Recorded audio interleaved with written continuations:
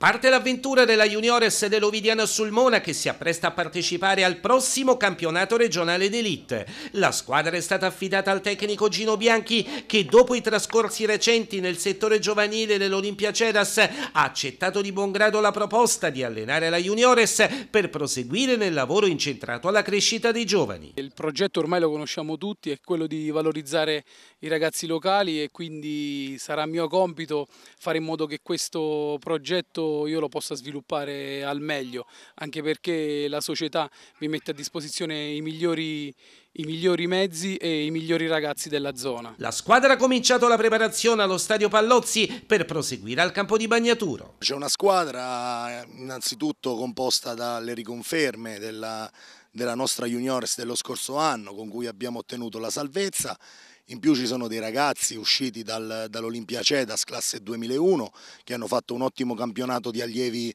regionali lo scorso anno e in più ci si aggiungeranno anche ragazzi del, eh, di alcune realtà insomma, limitrofe del luogo. Spiccano le conferme di Parao, Gioca Presutti, De Benedictis, Camilli Balassone, Meo Petrella di Pardo e Marchionda. Dall'Olimpia Cedas sono arrivati 2001 De Vincentis, Verrocchi del Prete, Almonte e Carusi. Tra i volti nuovi ci sono anche Arquilla e Bonanno, rispettivamente classe 2000 e 2001. L'organico diciamo che riteniamo che sia valido, però il nostro obiettivo non deve essere quello di ottenere dei risultati a cui sicuramente miriamo, ma il nostro obiettivo è quello di eh, preparare i ragazzi eh, per potersi integrare quanto prima con la prima squadra. Quindi i ragazzi pronti verranno subito inseriti in prima squadra. La società è convinta che il lavoro porterà frutti positivi con la sinergia tra juniores e prima squadra. In questa ottica è stata compiuta la scelta dell'allenatore. La scelta giusta anche eh, perché il mister della prima squadra è Joachim Spina, quindi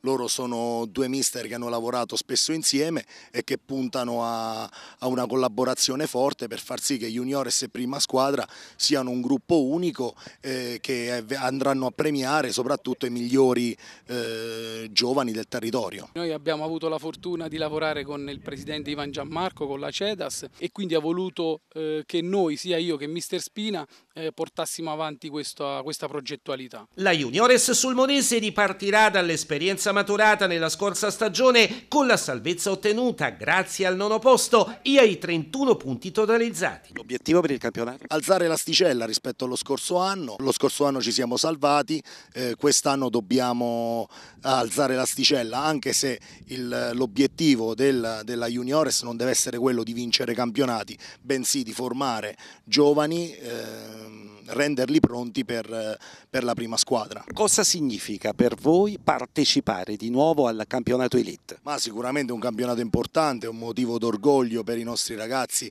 partecipare al campionato Elite.